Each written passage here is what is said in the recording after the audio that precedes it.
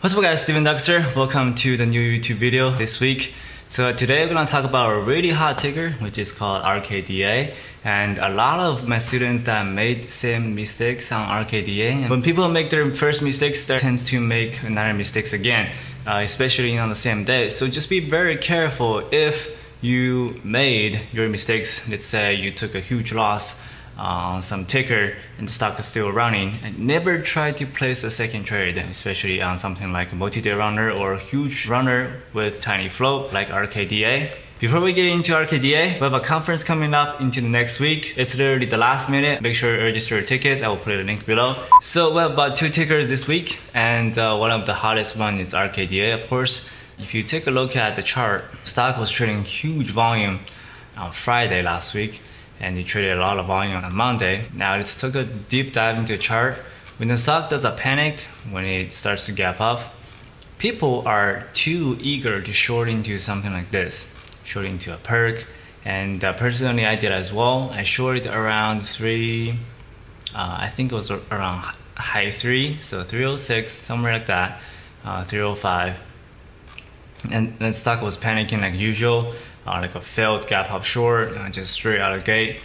And the stock did panic a little bit. And when it starts to crack the support around 2.73, and you can see this tiny little bit difference. If it goes to one minute chart, you can see a little bit clearly.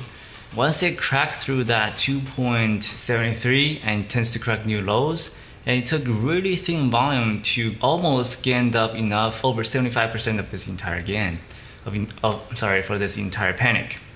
Uh, so whenever you see a panic, a major panic, something like uh, very heavy volume, 600k, 500k, and stock tends to come back with really thin volume, and the stock tends to come back with really thin volume, and that's where you should be aware of potential squeezes coming.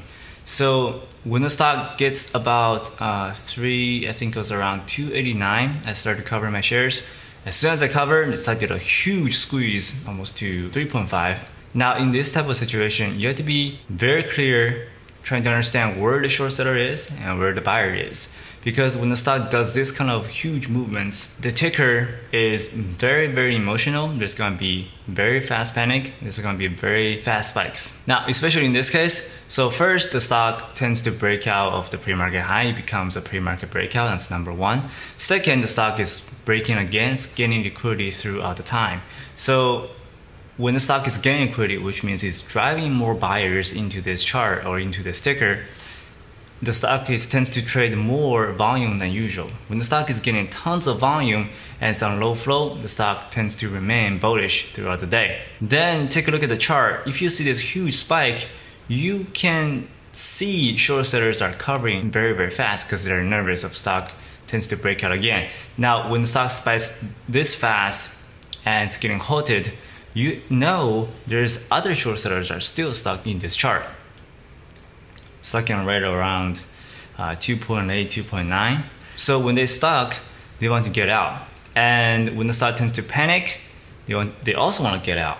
Uh, that's why panic always holds in these type of charts. You can see people shorted in around mid 3 or lower 3. Let's draw a horizontal line. So average short to be around 3, 330. When the stock does a panic, let's say if I short it around 330 and stock tends to panic into my level, um, what I want to do is I just want to cut even and be done with it because I don't want to try to short this chart anymore. Uh, or people start adding. So the first mentality people wants to cut even and when I cover into a panic will causing a buying pressure and that buying pressure will form a support for the chart. So you can see multiple times the stock panicked into this 3.7 area. He held about five times because there's so many short sellers that got stuck around lower three-ish. And the stock never tends to come back and people are still shorting or adding, then there's caused a multi-layer of short sellers. There's gonna be people shorting around two, 220. There's gonna be people already shorted around $3-ish. So it's causing a layer of short sellers getting squeezed. Let's talk about chain reactions. So when the stock tends to panic, and the first level of short sellers are so close to second layer of short sellers, so which is uh, right here. This is the first level. This will be the second level. So when those two levels are very close to each other, remember this, the stock is very unlikely to come back down. So in this case, I was tempted to go long on RKDA, but there's warrants, um, $5 each. So I don't really wake up and see the stock is exercising warrants, there's potential offering going on. That's why I didn't go long overnight, but you gapped out in the morning and uh, went to six. And today was a massive headache. There's people buying and selling. Uh, since there's so many people got stuck or got bought out around this area, and people still looking to break even. Uh, and start to break again. So six dollar become another support around right around here.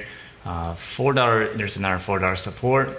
So uh, the dip will be around six dollar. The high of the consolidation will be six 460 so six dollar and it's pretty close to 460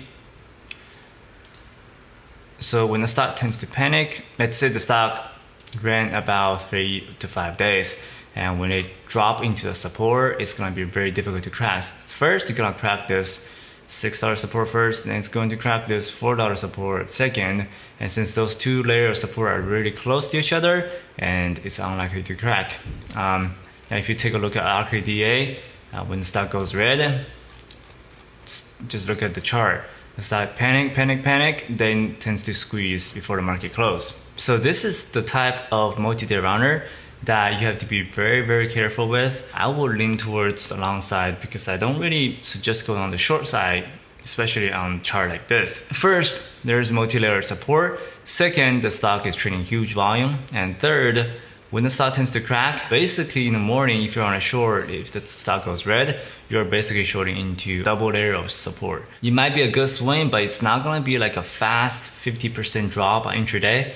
So on this chart, I'll attempt to stay away unless this one can spike to like 12 or 13. Then it can be shortable. Again, since the price are far away from these massive support. So that is my thoughts for RKDA. When the stock is not creating enough range and the stock is panicking and there's multi-layer support, it's gonna take days and weeks to crack. And I don't want to really hold that long to pay very expensive borrow fees. For future wise, if you guys look at the multi-day runner like this, not every single multi-day runner is a shortable. It does have a very good risk reward. I'm talking about intraday shorting, not a swing shorting. So this is the chart that you want to mark as not really tradable. So that is all my thoughts for RKDA. If you learned something new, press the like button or press the subscribe button. Leave a comment below about what you want me to talk about next time. And if you guys want to come to the conference, this is the last minute. This is the last minute to register your tickets. That'll be the end of the video. I will see you guys next time.